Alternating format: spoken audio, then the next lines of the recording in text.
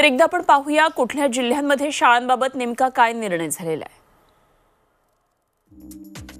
मुंबईमध्ये पंधरा डिसेंबरला शाळा सुरू होतील ठाण्यामध्ये पंधरा डिसेंबर नंतर शाळा सुरू होतील पुण्यामध्ये पंधरा डिसेंबरपर्यंत शाळा बंदच राहणार आहेत. नाशिकमध्ये दहा डिसेंबर नंतर निर्णय होईल. औरंगाबाद ग्रामीण आजपासून शाळा सुरू होतात. औरंगाबाद शहरामध्ये पाच डिसेंबर नंतर निर्णय होईल आणि कोल्हापूर एक डिसेंबरला शाळा सुरू होतात. म्हणजे आजपासून शाळा सुरू होतात. लातूर नांदेड आणि धुळेमध्ये सुद्धा आजपासून शाळा सुरू होतात. नवी मुंबईमध्ये पंधरा डिसेंबर नंतर शाळा सुरू होणार आहेत आणि वसई विरार आणि पंढरपूरमध्ये आजपासून शाळांना सुरुवात होतीये. जळगाव मालेगाव आणि वाशिमची माहिती पाहूया. जळगावमध्ये आजपासून शाळा सुरू होतीये. वाशिममध्ये सुद्धा तर मालेगावमध्ये मात्र दहा डिसेंबरला शाळा सुरू होतील. खरं तर अनेक पालकांनी आपल्या पालक पाल्यांची आता तयारी केलेली असेल शाळेमध्ये जाण्यासाठी. आजपासून शाळा सुरूही होणार होत्या. मात्र शाळा आजपासून सुरू होणार नाहीयेत. राज्यातल्या मुख्य शाळांमध्ये मुंबईसह राज्यातल्या अनेक शहरातल्या शाळा या आजपासून सुरू होणार नाहीत मुंबईतल्या शाळा या पंधरा डिसेंबरपासून सुरू करण्याचा निर्णय महापालिकेनं घेतलाय.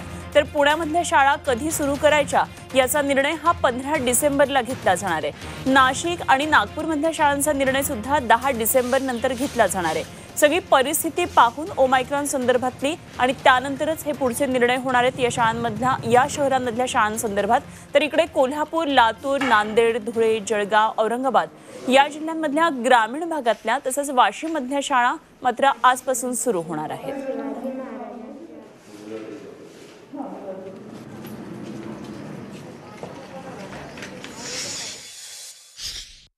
आम्ही अनेक एक्सपर्टची चर्चा केली. त्यांच्या म्हणणं असं आहे की येत्या दहा ते पंधरा दिवसात या हे जो नवीन प्रजातीच्या कॅरेक्टरिस्टिक्स काय आहे धोक्याच्या ॲक्च्युली प्रमाण काय आहे हे अजून रिसर्च आपल्यासमोर येणार. आणि शक शक्यता येत्या आठ ते दहा बारा दिवसात आणखीन हे स्थिती क्लिअर होईल. हा चित्र स्पष्ट होईल. चित्र स्पष्ट होईल.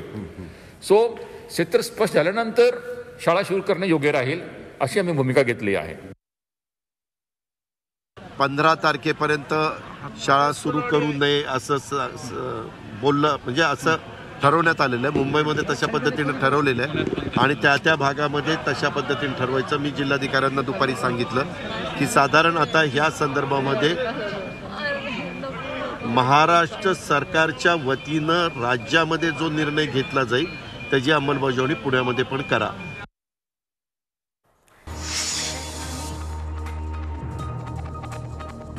महाराष्ट्रासाठी एक अभिमानाची बातमी आहे. मंगळवारी एका दिवसामध्ये तब्बल अकरा लाख बत्तीस हजार नागरिकांनी कोरोना प्रतिबंधक लसीचा डोस घेतलेला आहे. विशेष म्हणजे आतापर्यंत राज्यातल्या तब्बल चार कोटी नागरिकांना कोरोना प्रतिबंधक लसीचे दोन्ही डोस दिले गेलेले आहेत. छत्रपतींचा विचार. म्हणजे